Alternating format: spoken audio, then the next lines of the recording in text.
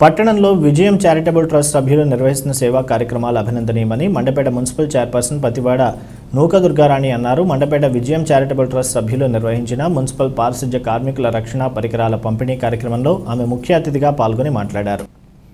సందర్భంగా రాణి చేతుల మీదుగా మొత్తం నూట యాభై ఎనిమిది మంది పారిశుధ్య కార్మికులకు మాస్కులు సబ్బులు కొబ్బరి నూనె తదితర రక్షణ పరికరాలు అందజేశారు.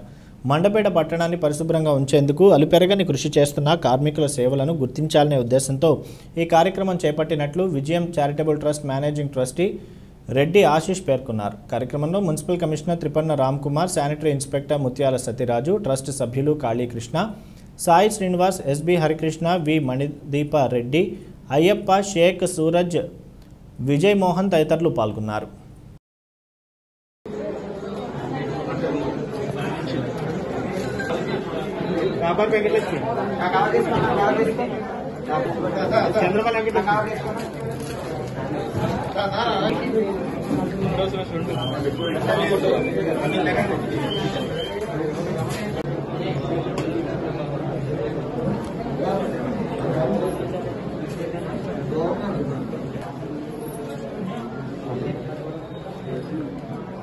రండి విజయ్ గారు విజయ్ గారు